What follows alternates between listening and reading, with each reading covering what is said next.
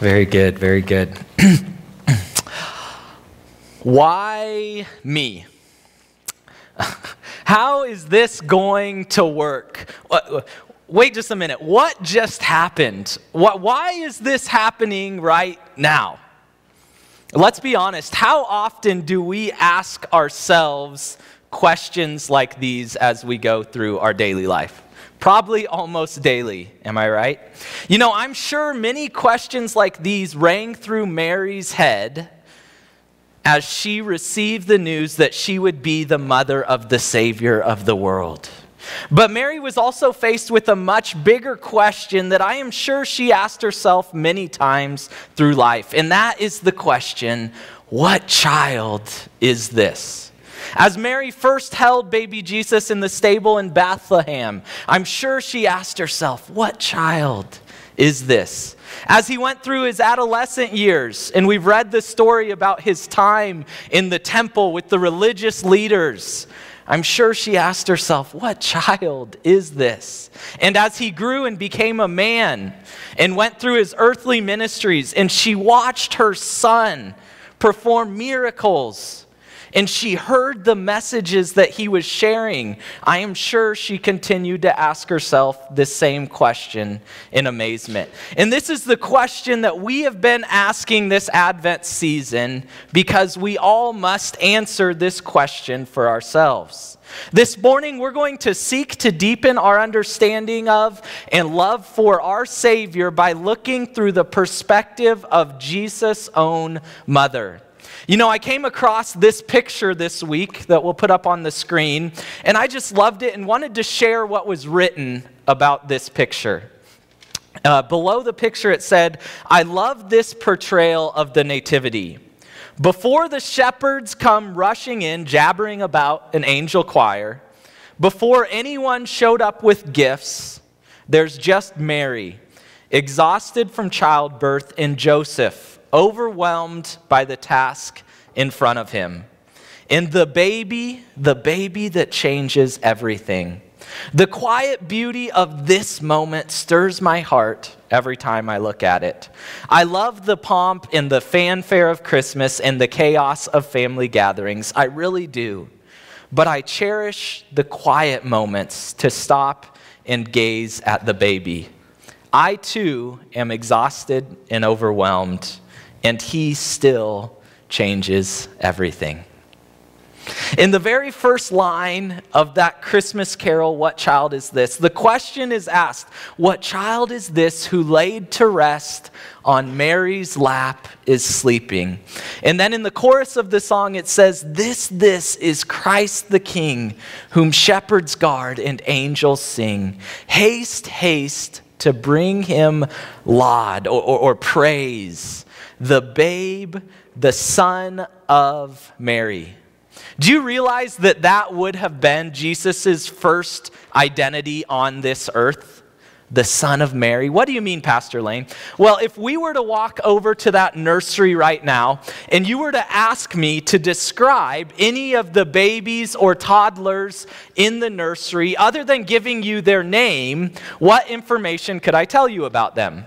Who they belong to, right? Whose child they are. If I started pointing at the little babies in the nursery and saying, well, that right there is the accountant, and he's the great athlete, and she's the excellent pianist, you would all look at me like I was crazy, and rightfully so, because those things are not yet part of a baby's identity. When a child is born, the very first identity they have is the son of so and so, or the daughter of whomever. And that would have been Jesus' first identity as well the son of Mary, or the son of Joseph. Now, for most babies, other than their given name, this is the only identity that they have from the womb. But this was not the case for Jesus. He actually had two complete identities from birth, as Mike just read. In Luke 1, verses 34 and 35, I'm going to read it again. Mary asked, How will this be since I am a virgin? And the angel answered, The Holy Spirit will come on you, and the power of the Most High will overshadow you. So the Holy One to be born will be called the Son of God. You see, that was Jesus' other identity, the Son of God. And have you ever really thought about why this was important, why it was so important for Jesus to be born of a virgin? You know, the, what um, this idea has come to be referred to by biblical scholars as the hypostatic union of Christ. This week, if you're at family Christmas gatherings and you want to sound really intelligent, you can just say, Isn't the hypostatic union of Jesus so amazing? And then wait and see, see how someone responds. No, don't do that unless you're going to explain what hypostatic union really means. You see, the word hypostatic, simply put, means personal. So, the hypostatic union of Jesus is the personal union of Jesus' two complete natures, which are being fully God and fully man.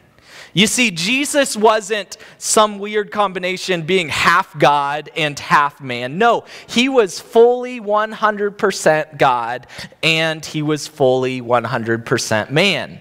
And we'll get into the importance of these two complete natures in a little bit. But first, let's take a look at Scripture and see what evidence we have for Jesus having two complete natures.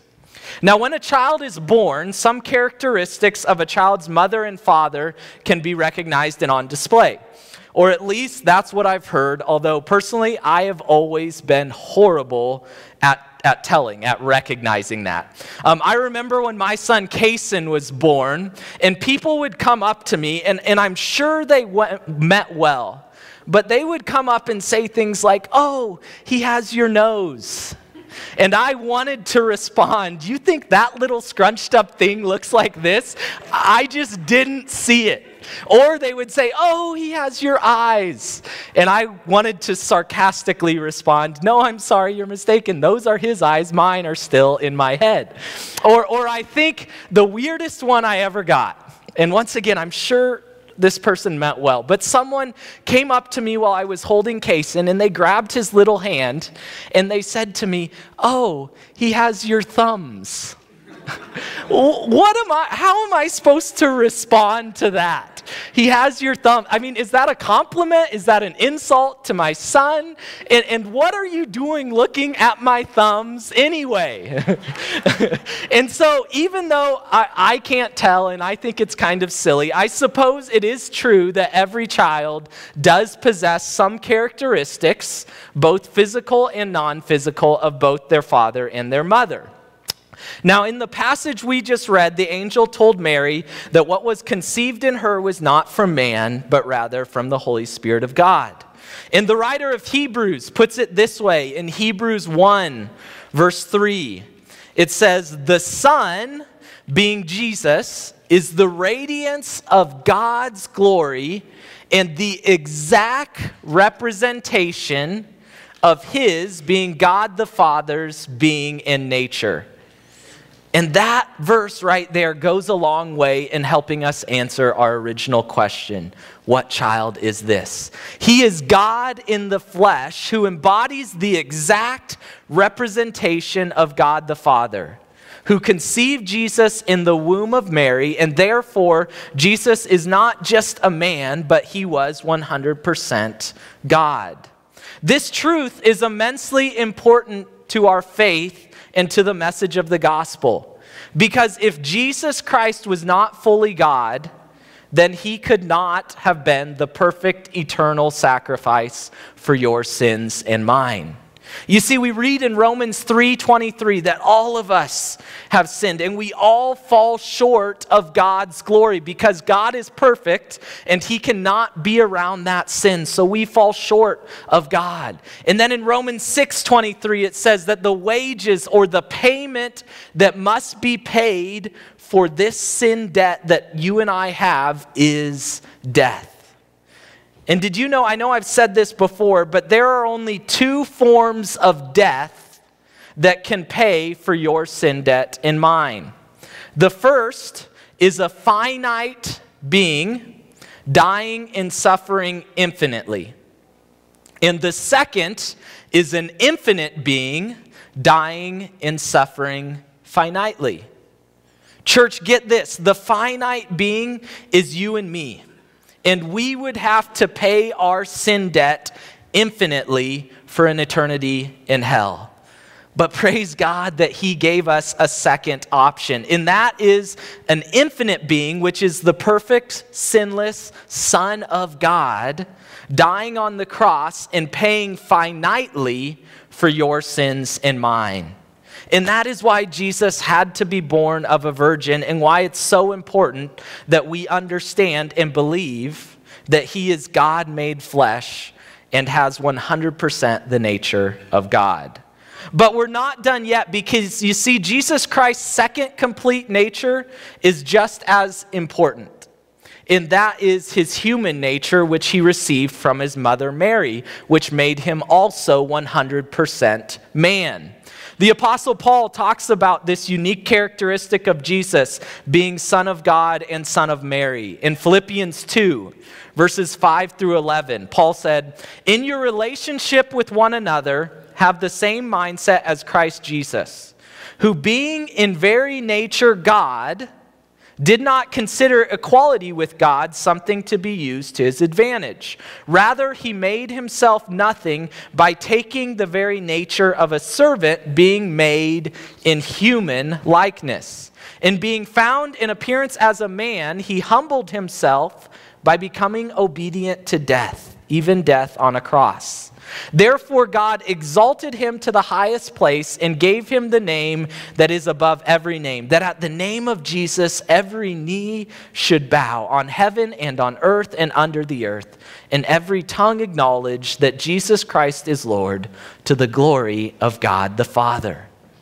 You know, this idea of Jesus being fully God and fully man, I will admit, it, it's difficult for us to wrap our minds around, but it is absolutely foundational to our Christian faith. It is interesting because during the time that Jesus was on the earth, it was easy for those around him to see him physically, to touch him, to hear his voice, and therefore it was easy for them to believe in his humanity. But there were many people at that time who questioned his deity, who questioned if he was really God, including the religious leaders, the Pharisees and the Sadducees. Because in his physical appearance, he didn't glow, he didn't have a halo, he didn't look like anything other than a man. But then through his ministry and his miracles and fulfilled prophecy, and definitely through his resurrection, Many people came to believe in his deity, that he was God. But it wasn't long after he ascended into heaven that the doubts started to come from the opposite direction. You see, first generation Christians who had not physically seen Jesus in bodily form started from a different place. They began with believing that Jesus was God, but tended to struggle with the fullness of his humanity. In fact, did you know that one of the first heresies, one of the first false doctrines that the young church faced was that Jesus was not truly a man? Uh, we can read about this in 2 John, verse 7. John said, I say this because many deceivers who do not acknowledge Jesus Christ as coming in the flesh have gone out into the world. Any such person is a deceiver and the Antichrist. So you see, this seesaw of beliefs has oscillated back and forth since the first century church and really for the last 2,000 years. Either some will try to make the argument that Jesus was not really God. He was just a good man. He was just a prophet. He was just a great teacher. Or others will try to make the argument that Jesus wasn't fully man. He was some sort of spiritual form who came to this earth. Um, he was an angel, or he was some extraterrestrial, like, like an alien or something. Um, and people will try to make these arguments for two reasons. One is because they don't want to submit to Jesus Christ as Savior of the world. And if he was just a man, like a prophet or a teacher, then they don't have to submit to that. Or two, because it's difficult for our finite human minds to wrap around this idea of Jesus having two complete natures. But let me ask this question Isn't it actually good for our human minds to have difficulty completely understanding the person of Jesus? I mean, if it's easy for us to, to comprehend, to understand Jesus in all of his magnificence and glory, doesn't he kind of lose that magnificence as the Savior of the world? And I don't ask that question to say that knowing Christ is not a worthy cause. We should absolutely seek to know Christ more and more. But we do have to accept that there are some magnificent things about Christ that are difficult for our human minds to understand. And we probably won't until heaven. And that includes Jesus having two complete natures, the hypostatic union of Christ. I also want to point out that some Christians today can spend so much time trying to convince our culture that Jesus really is God and that's absolutely the truth, and it's absolutely important. But we therefore do not emphasize enough the importance of his humanity. You see, Pastor David Mathis put it this way Jesus was like us in every respect human body, human heart, human mind, and human will, except for sin. How amazing that the divine Son of God would not just take on part of our humanity at that first Christmas, but all of our humanity, and take that true humanity all the way to the cross for us. Jesus took a human body to save our bodies. He took a human mind to save our minds. Without becoming man in his emotions, he could not have rescued our hearts. And without taking a human will, he could not have saved our broken and wandering wills. He became man in full so that he might save us in full. He is truly a marvelous Savior. So, just like there are reflections and attributes of his heavenly Father that are seen in Jesus, there are likewise reflections of Mary's life that are seen in her Son. Let's look at just a few of these as we continue to answer our question what child is this? And I want to focus um, not on the physical similarities that Jesus had with Mary, which I'm sure he did have, but let's be honest, we have no idea what those were. But I want to focus on the character traits that Jesus shared with his mother. First, both Mary and G- Jesus displayed strong lives that were willing to receive a mission that included great faith in their heavenly Father. You see, when Mary received the mission from the angel of the Lord to carry and conceive the Son of God in her womb, have you ever really thought about what that moment must have been like for her? You see, Mary was a young lady who was engaged to be married to a hardworking carpenter. And I'm sure, like every young lady, she had ideas in her mind of the life that she and Joseph were going to have together. But she received this unbelievable news from the angel Gabriel, and just like that, everything changed. When Mary received this life changing news, there would have been so many ways that she could have responded. And if we put ourselves in her shoes and try to think how we would have responded, I'm not sure we would have responded as well as Mary did. Look at how she responded in Luke 1, verse 38. This is the first thing out of Mary's mouth. Well, first she asked, How can this be? But then this is how she responded I am the Lord's servant, Mary answered. May your word to me be fulfilled. Then the angel left her. Wow, may your word to me be fulfilled. We see a parallel to this response from Jesus when he was in the Garden of Gethsemane praying about the mission to go to the cross and die for the sins of all humanity. He very much, like his mother, prayed a prayer of humble submission to the Heavenly Father. We read about this prayer in Luke 22, verses 41 and 42. It says, He, being Jesus, withdrew about a stone's throw from his disciples. He knelt down and prayed. And this is what Jesus said Father, if you are willing, Take this cup from me, yet not my will, but yours be done. Do you see the parallel between those two verses? Mary said, May your word to me be fulfilled. And Jesus said, Yet not my will, but yours be done.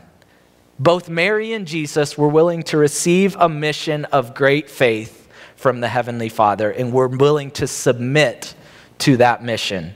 The next parallel I see is both Mary and Jesus showed an unbelievable devotion to the ones whom they loved.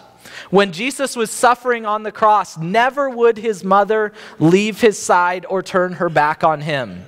As it says in John 19, verse 25, near the cross of Jesus stood his mother, his mother's sister, Mary, the wife of Clopas, and Mary Magdalene. In the same way, one of the most important characteristics of Jesus is the fact that he will never leave us or forsake us. In fact, one of the names of Jesus is Emmanuel, which literally translated means the God who is with us. And just like his mother Mary was with him at the cross, Jesus is with us in our darkest hour and our deepest pain. Jesus told his followers in Matthew 28 20, and surely I am with you always to the very end of the age. And that's awesome news. That is awesome hope for you and I. And the third parallel I would like to point out between Mary and Jesus is found in one of the most powerful scenes of compassion and care that is displayed between this mother and her son.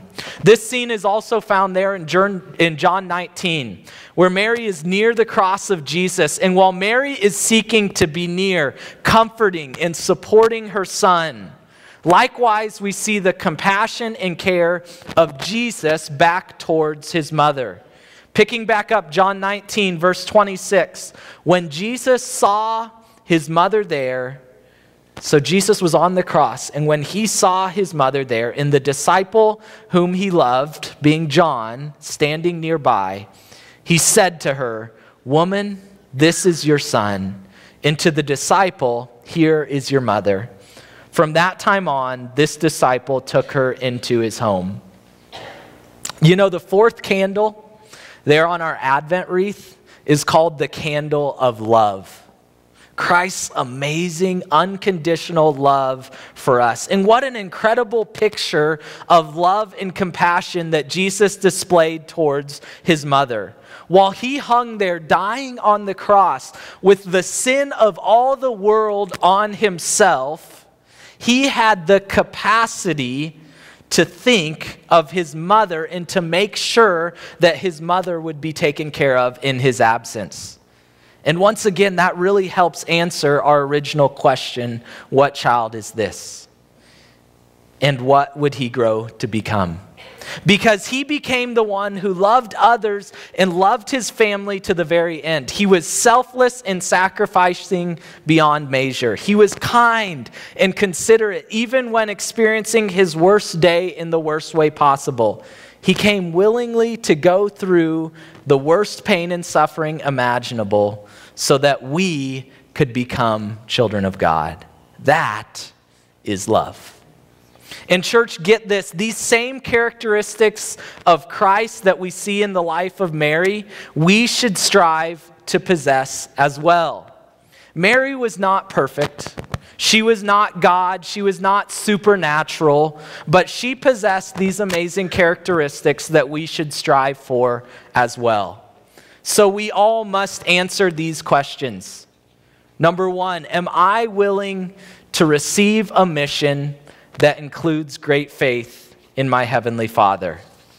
Number two, do I show Christ like devotion to the ones I love, to my family, to my church family? And number three, do I display a tremendous level of compassion and care for those around me?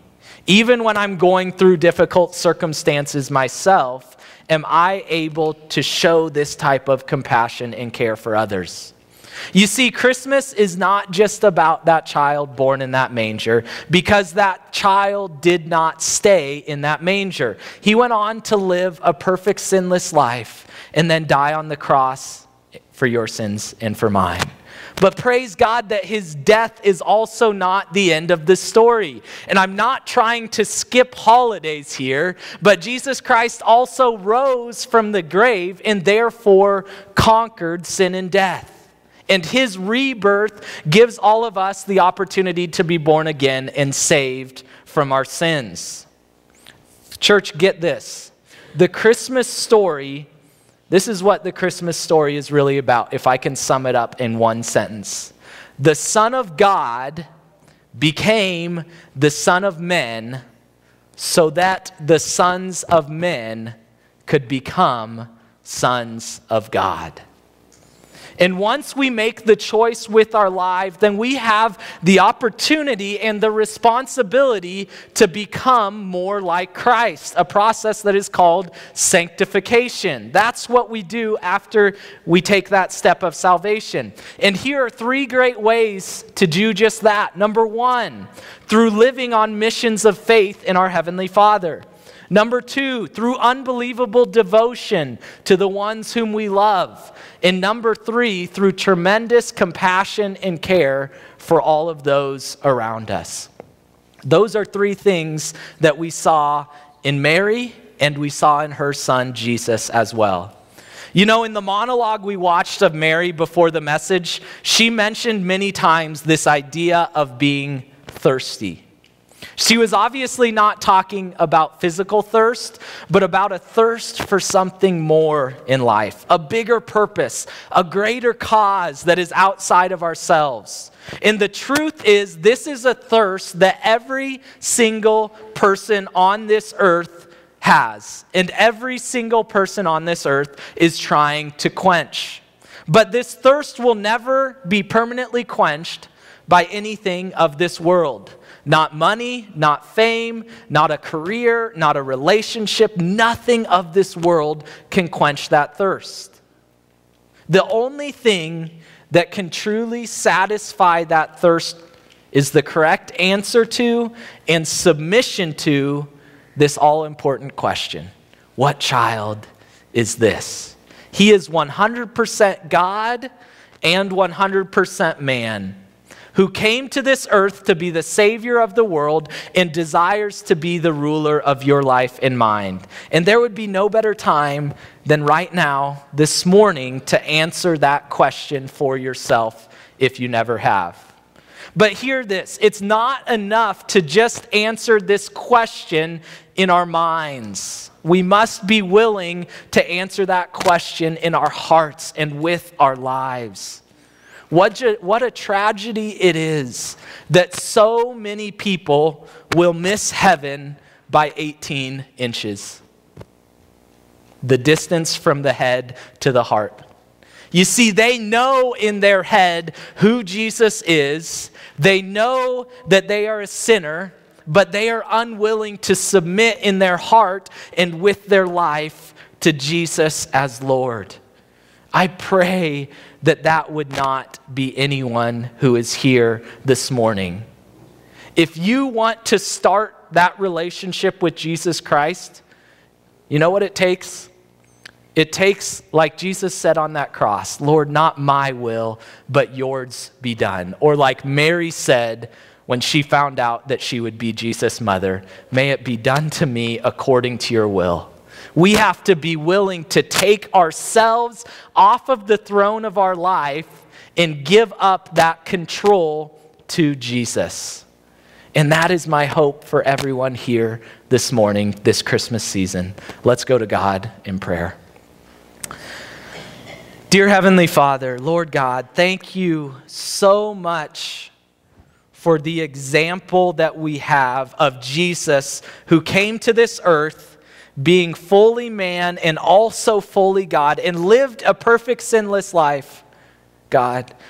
Jesus went through, he went through temptation, He went through emotion. He went through rejection. Anything of this life that we have to deal with, Jesus can relate to because he was fully man and he went through it himself. But I'm so thankful that he was also fully God so that he could be that perfect eternal sacrifice and God, I thank you that by the bloodshed of Jesus, our sins can be covered and we can know you personally and we can come directly to you in prayer and we can have the hope, the assurance of an eternity with you. God, I pray if there's anyone here this morning who maybe they're hearing this for the first time, or maybe they've been familiar with the Christmas story for a long time, but they have never submitted their life to you, God. I pray that this morning they would choose to do with just that. That this morning they would make that choice to say, God, I'm tired of doing my will. I'm tired of being thirsty and trying to quench that thirst with things of this world. God, I want you, the living water. I want to submit my life to you. I pray that they would make that choice this morning. And dear God, for all of us who have made that choice, I pray that we would be seeking to be more like you with our lives, God.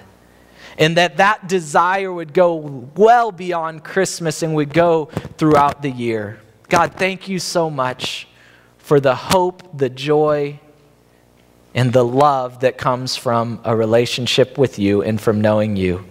And thank you for the opportunity that we have to celebrate that this Christmas season. And it's in Jesus' name I pray. Amen.